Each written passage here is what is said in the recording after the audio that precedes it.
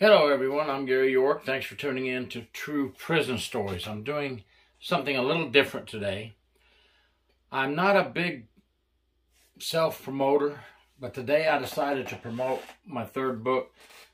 Everybody else is promoting their stuff, so why not I get out here and tell you a little bit about my third book?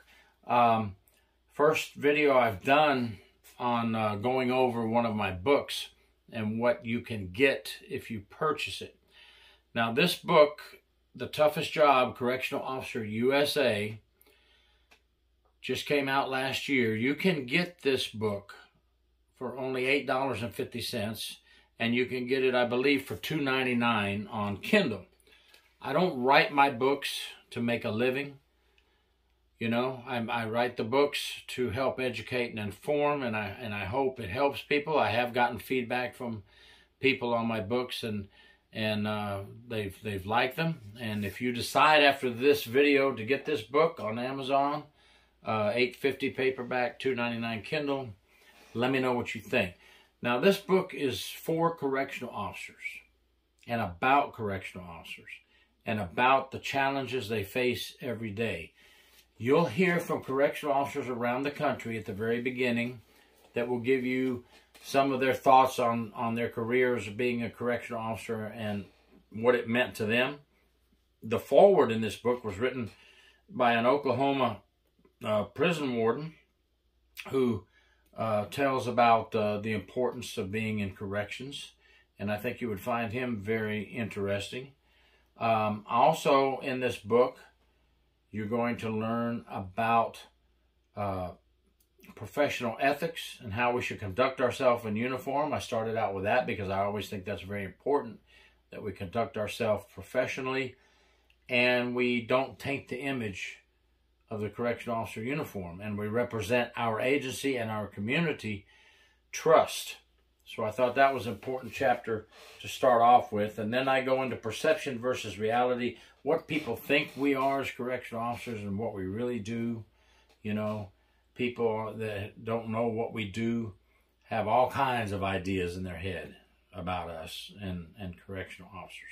So I think it's very important that we get that uh, reality out there to the public and to the people we work for, to the taxpayers, to let them know what we really have to go through in our job. And this book tells you what we have to go through. As I go on, you'll see why. Officer attitude is in here as well. I think officer attitude is, is a really important thing because I'm retired. Some of these people are still active in the comments at the beginning of the book. Some are not. Uh, some are retired. And in order to get through this profession or job, whatever you wish to call it, you have to have an attitude that'll get you through this, a good attitude. Because not everybody, as you know, can handle the job of a correctional officer. We'll talk about that in here. Getting through your rookie year, I wanted to get that in there for all the newcomers. There's a chapter on getting through your rookie year. Um, that's not always easy for everybody. Some people breeze through it and do just fine, and others have a very hard time getting through their rookie year. Uh, you'll also know why it is important for the success of corrections to have our women correctional officers. We must have them to be successful in corrections. I'm not going to tell you all about it right now, but it's in here on why they're integral to the to the success of corrections and why they are so important in our job and in our field. We're also going to talk about inmate manipulation. Okay, there's my version of inmate manipulation in here, and also there's a chapter by Anthony Gangi in here about some inmate manipulation. I'm going to talk about some of these other people that are in my book at the end and, and recommend their books as well. Uh, documenting inmate threats is in here, why it's so important warning signs that we need to look for when inmates are about to fight or there's about to be a riot or something's just not right. Something you have to learn as you go on as a correctional officer. There's some tips in here about that.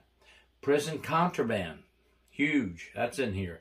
How to how, how why it's important to find to locate, find, and and and remove prison contraband. Hostage situations is in here. Hospital watch is in here. Escape and recapture is in here. All these tips in here that can help you as a correctional officer coming into the job or if you've been here a while, it should be able to help you.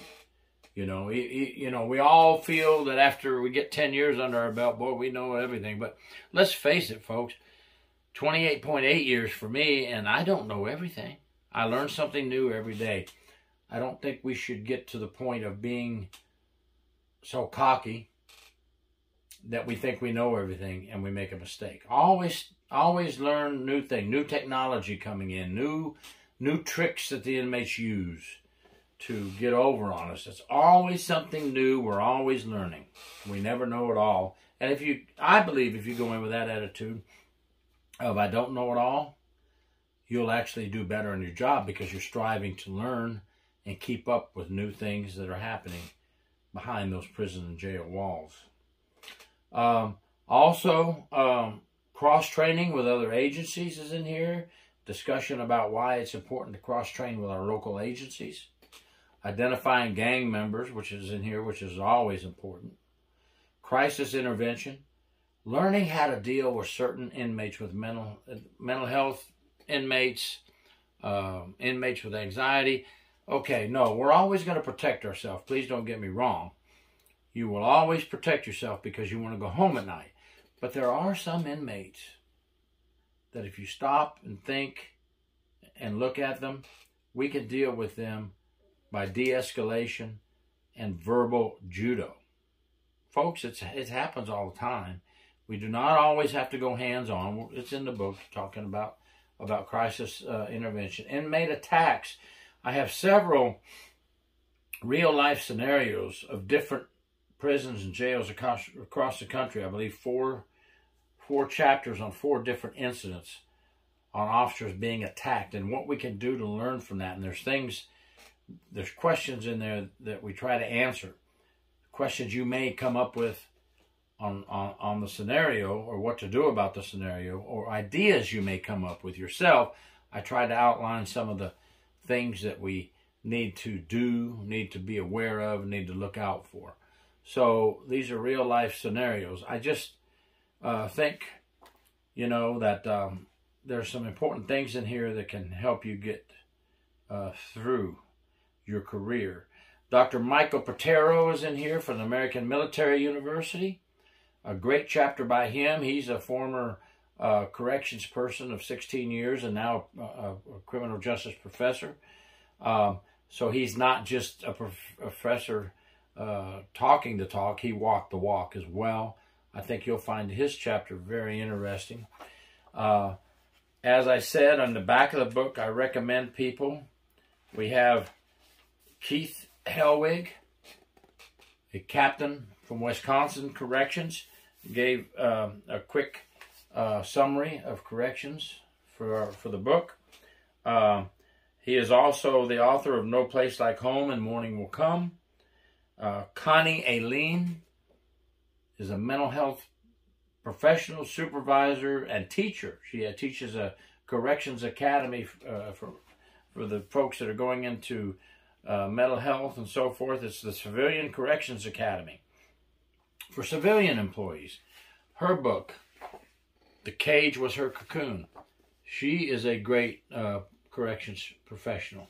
She is in here as well. So you got uh, uh, Michael Pittaro, Keith Helwig, um, Connie Aileen, and Anthony Gangi throwing in their thoughts in this. We have some correction officer prayers by a lieutenant and a captain. Correction officer Captain Steve Best and retired correction officer Lieutenant George Cruz. Little correction officer prayers there that I think are, are always nice to have. If we go into work, uh, not preaching to you, but say a little prayer, keep us safe while we're going to walk the line today. I think that's always a good thing to have. And at the back of the book, um, America's Frontline Law Enforcement Corrections Gifts and Memorabilia. I put that in there as well in case you want to buy your loved one who's in corrections a nice gift for a special occasion, or if you want to order coins for your uh, agency they've done a great job. Your shift did a great job. Use this and, and, and order some coins. Um, and I put some recommended uh, readings in here and some recommended YouTubes. True Prison Stories by Gary York, Tier Talk hosted by Anthony Gangi, Cops and Corrections hosted by Keith Helwig, and Just Corrections hosted by William Young. I tried to get in my book things that you need. Just jumping right into the meat. No big long stories in here, just facts. Remember Joe Friday? For those of you that are as old as me, just the facts, ma'am, just the facts. Straight facts in here. We don't have war stories in here. This isn't a book about Gary York and his career. This is a book of facts and things to educate and inform you as an officer. If you find it interesting, check it out on Amazon. I appreciate you, and today I tooted my own horn. Sorry about that. Thank you, folks. Gary York, True Prison Stories. Please subscribe.